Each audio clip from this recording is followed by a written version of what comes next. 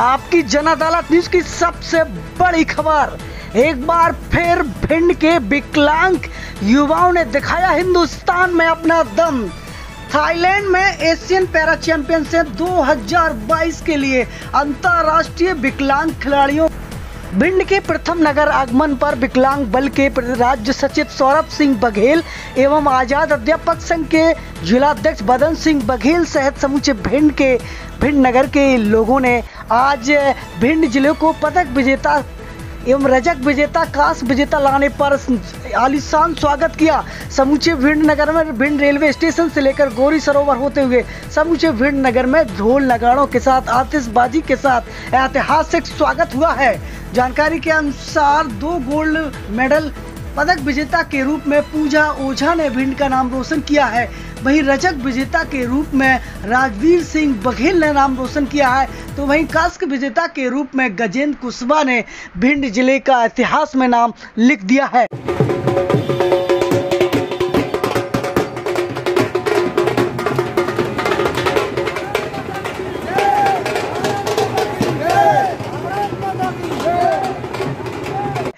तस्वीर आपकी जन अदालत न्यूज़ पर आपको दिखा रहे हैं, जहाँ पर विकलांग युवाओं ने अपना दम दिखाया। हिंदुस्तान के अंदर आज चारों तरफ़, आज भिंड में उनका उनका ऐतिहासिक स्वागत होता हुआ दिखाई दिया। जहाँ पर भिंड के युवाओं ने समूचे भिंड के बाज़ार में रैली निकाल करके उनका उत्साह बढ़ाया है।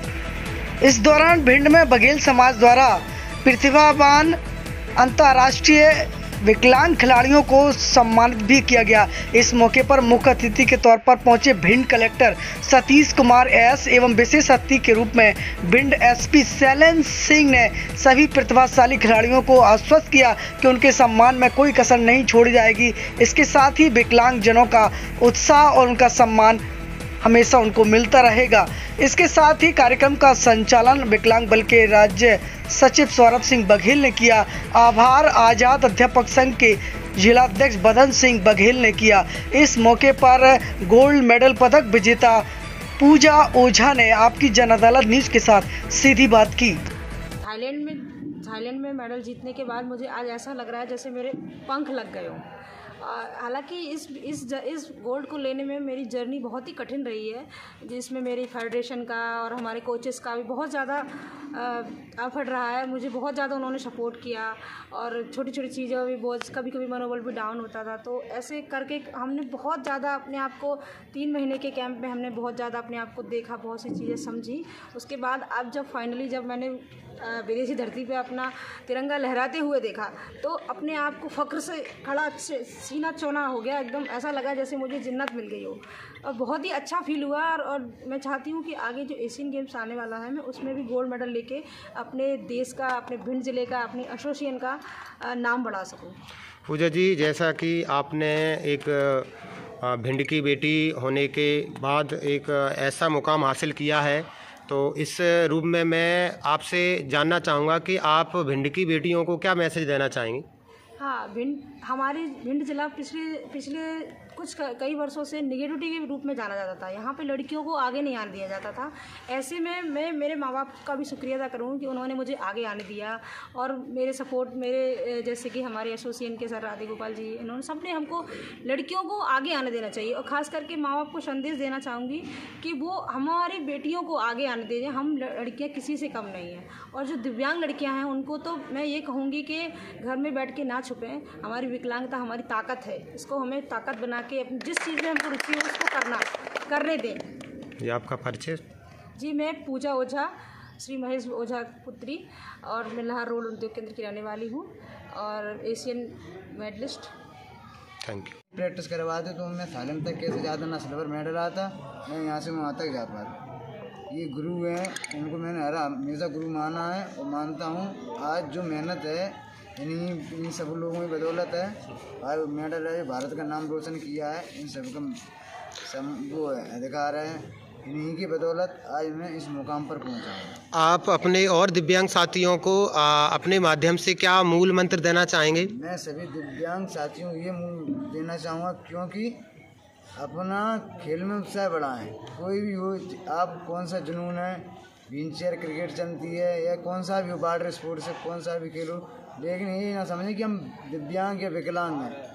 सिर्फ़ ये समझें कि हम बहुत बड़े एक खिलाड़ी हैं और वहाँ पे कूद जाएँ बस अपना काम आगे बढ़ा दें कि दिव्यांग कभी ना समझें। आप अपना परिचय दें। मैं राजवीर सिंह बघेल चंदपुरा का रहने वाला हूँ जिला भिंड से तहसील भिंड। थैंक यू आज आपने अंतर्राष्ट्रीय दिव्यांग खिलाड़ियों का जो प्रतिभा सम्मान रखा उसके लिए बहुत बहुत आभार।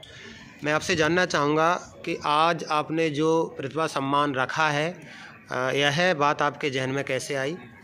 और आपके माध्यम से अंतर्राष्ट्रीय खिलाड़ियों को मैं सबसे पहले अपनी ओर से और समस्त भिंड ज़िले के शिक्षक साथियों की ओर से धन्यवाद और शुभकामनाएँ ज्ञापित करना चाहूँगा। और मैं आगे कहना चाहूँगा कि इस खेल के प्रोदा आदरणीय हमारे राधे गोपाल यादव जी के माध्यम से ये हमें पता लगा कि भाई साहब के साथ खड़े होकर के हमें ये सौभाग्य प्राप्त हुआ कि हमारे दिव्यांग खिलाड़ियों को हमने भिंड ज़िले का जो दिव्यांग खिलाड़ियों ने नाम रोशन किया देश ही नहीं, विदेश तक नाम को पहुँचाया तो हमारे सभी शिक्षक साथियों के साथ मिलकर के एक बैठक की गई और उसमें ये निर्णय लिया गया कि हमारे दिव्यांग खिलाड़ियों का ज़ोर शोर के साथ, पूरे निष्ठा के साथ एक दिव्य और भव्य कार्यक्रम करने का हम सब लोगों ने एक आयोजन बनाया और ये सभी साथियों के साथ आयोजन मिल कर के पूर्ण हुआ।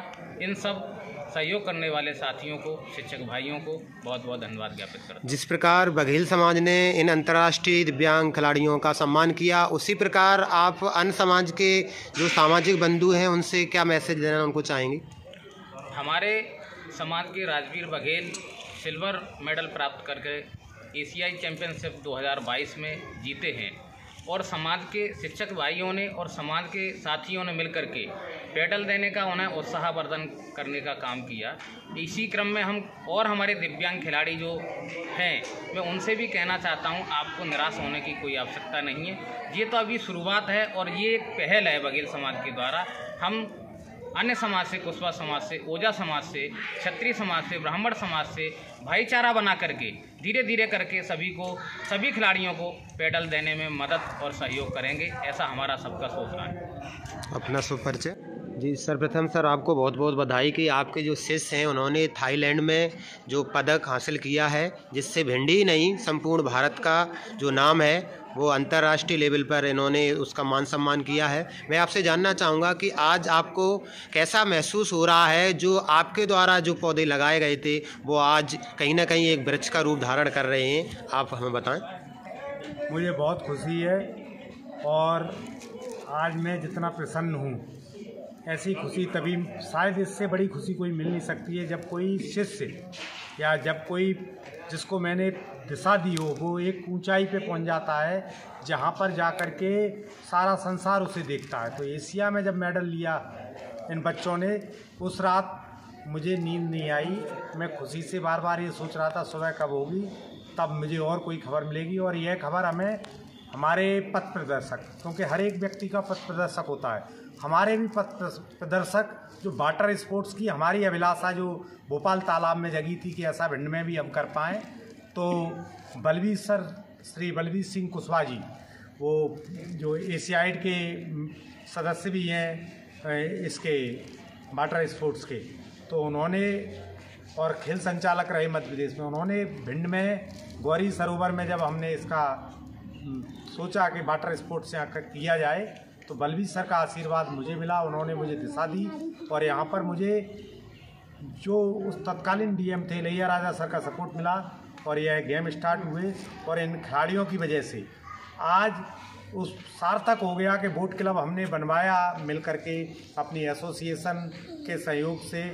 हमारी एसोसिएशन में डॉक्टर योगेंद्र यादव और कुलदीप के साथ साथ प्रत्येक व्यक्ति ने अपनी जीवटता से और भिंड के प्रत्येक नागरिक ने सहयोग किया। यहाँ के न्यूज़ चैनल ने हमारा बहुत अच्छा सपोर्ट किया, जिसकी वजह से उसका प्रतिफल है कि आज ये मेडल आए हैं। और वास्तव में मेरा कोई श्रेय नहीं है। खिलाड़ियों की खुद की मेहनत का श्रेय है। मैंने तो अपना एक काम किया था छोटा सा, कि स्टार्ट कर दिया था वाटर स्पोर्ट्स। उसको बढ़ाने का काम तो ये सब लोग कर रहे हैं। और कई लोग तो ऐसे हैं जो नहीं दिखते, जो पूरे टाइम मेहनत करते हैं बोट क्लब खोलते हैं, साफ़ करते हैं। अनिल माझी, निश्चल यादव, राहुल और गजेंद्र वगैरह, ये सभी लोग खुद से लगे रहते हैं। दानवीर, दीक्षित जी, पिता समान वहाँ लगे रहते हैं। सबका योगदान है। एक व्यक्ति का योगदान नहीं है। आप अभी तत्कालीन डीएम सर और एसपी सर एक बात के कहने पे इधर आ गए। सुबह में स्वच्छता मिशन के कार्यक्रम में से। तो ये सब हमारे ऊर्जा के स्रोत हैं। आप सब हमारे ऊर्जा के स्रोत हो और ये मेडल ये खिलाड़ी लाते रहेंगे। तो निश्चित तौर पर इसी प्रकार के खेलों में हम और ज़्यादा भिंड को आगे ले जाने के लिए प्रयास करते रहेंगे कि किस प्रकार से इनको आगे बढ़ाया जाए। बस यही विचार रहता है हमेशा कि कैसे खिलाड़ी हमारे भिंड का नाम जो पहले से निगेटिविटी में जाना जाता था, वो पॉजिटिव करके भिंड को एक नई दिशा देंगे और भिंड की युवा पीढ़ी को, नए आने वाली पीढ़ी को ये नई दिशा देंगे। इन सबको बहुत बहुत धन्यवाद। जिन्होंने हमारा साथ दिया। सर देखने को मिलता है कि जो कोचेस होते हैं वो एक साधारण खिलाड़ियों को अपने गेम में लेते हैं। आपने इन दिव्यांगों को चुना ऐसा आपको क्या लगा इनके अंदर कि आपने इन दिव्यांगों को चुना? दरअसल क्या है कि ये इसमें जो विचार देने वाले तो दिव्यांग वाटर स्पोर्ट्स को विचार देने के लिए तो बलवीर सर ने मुझसे कहा। और चूँकि दिव्यांगों से प्रेम की बात कहें तो बचपन में मैंने भी दिव्यांगता की वजह से कई ताने समाज के सुने। हालाँकि समाज को नहीं पता कि मैं दिव्यांग हूँ। मेरी एक आँख में प्रॉब्लम है, बचपन से ही लग गई थी, दुर्घटना का शिकार हो गई थी तो मैं आर्टिफिशियल आँख है। तो कई तरह के व्यंग मैंने सुने और एक जीवटता मन में ये आती थी मेरे अंदर, जब बैंक कोई करता था कि इसको ही ताकत बनाएँगे, कभी इतना अच्छा करके दिखाएँगे कि जिससे लोग हमें सम्मान करें।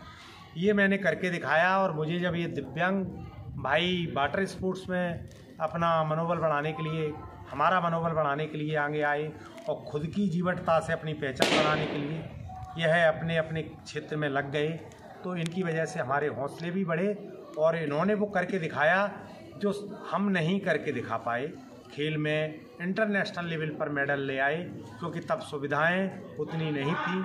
मैं चाहता हूँ कि जिनको आने वाली पीढ़ी को जो सुविधाएँ नहीं हैं, वो हम सब लोग मिल कर के दें और खेल को आगे बढ़ाएँ जी अपना सुपरिचय।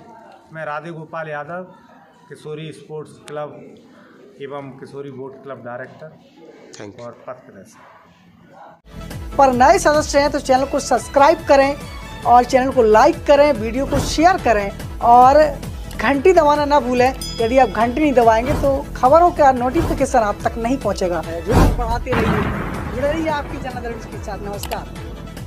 Evergreen colours India private limited. रंग है तो जीवन है। Stay home stay safe